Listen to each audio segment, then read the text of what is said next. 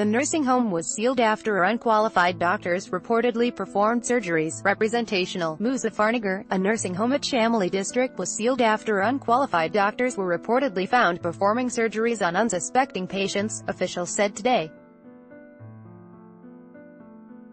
A team of doctors from the Uttar Pradesh Health Department led by Deputy CMO Ashok Tanda raided Aster nursing home on Sunday.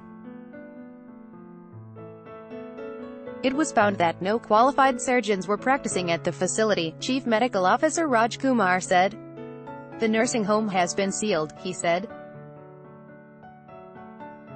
The matter came to light when family members of Mukesh Devi, 30, who was admitted to the facility for removal of a tumor, complained about the shoddy treatment provided to her.